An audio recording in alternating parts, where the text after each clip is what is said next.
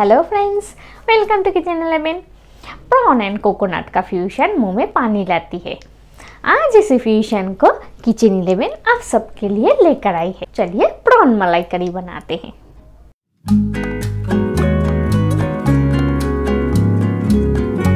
पहले हम 500 ग्राम प्रॉन्स को अच्छे से क्लीन कर लेंगे। अब हम इसमें थोड़ा सा नमक हाफ़ टी स्पून हल्दी और half teaspoon red chilli powder को अच्छे से मिक्स कर लेंगे।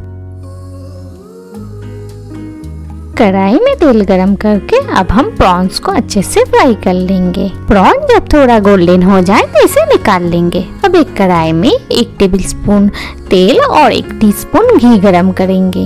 तेल अच्छे से गर्म हो जाए तो इसमें वन फोर टी स्पून कलौजी, एक दालचीनी का टुकड़ा, दो से तीन इलायची और लौंग को थोड़ा सा सोटे कर लेंगे। इसमें four tablespoon onion paste add करेंगे।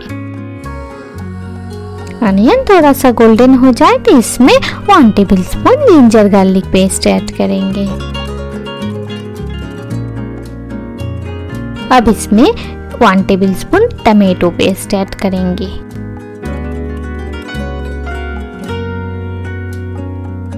इसमें हाफ़ टी स्पून हल्दी, एक टेबल स्पून जीरा पाउडर और एक टीस्पून रेड चिली पाउडर को अच्छे से मिक्स कर लेंगे। मसाला अच्छे से भून जाए तो इसमें एक टीस्पून शुगर और टू टेबल स्पून कर्ड को अच्छे से मिक्स कर लेंगे। इन सारी चीज़ों को अच्छे से मिक्स होने के बाद इसमें स्वाद अनुसार नमक और हाफ़ टी स्पून गर्म मसाला को ऐड करेंगे। अब इसे ढक के तीन से चार मिनट के लिए कुक करेंगे। मसाला जब अच्छे से कुक हो जाए तो इसमें अब हम दो कप फ्रेश कोकोनट मिल्क धीरे धीरे करके मिक्स करते जाएँगे और इसे ढक के पकाएँगे। कोकोनट मिल्क कैसे तैयार होता है? उसका डिटेल्स वीडियो लिंक आपको डिस्क्रिप्शन बॉक्स में मिल जाएगा। अगर आपको हमारा रेसिपीज़ पसंद आ रही है तो इस चैनल को सब्सक्राइब करना मत भूलिए। प्रॉन्स को अब हम मसालों के साथ अच्छे से मिक्स कर लेंगे।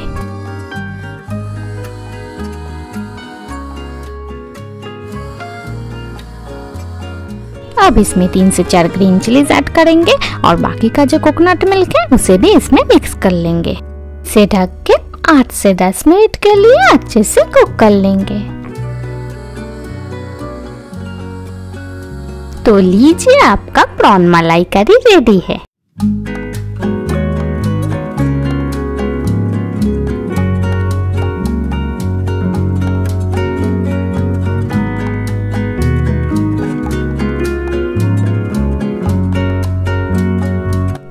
किचन इलेवन चैनल को ज़रूर सब्सक्राइब कर लीजिए और अगर आपको वीडियो पसंद आए तो लाइक और कमेंट करके ज़रूर बताइए। Thank you for watching take care and save water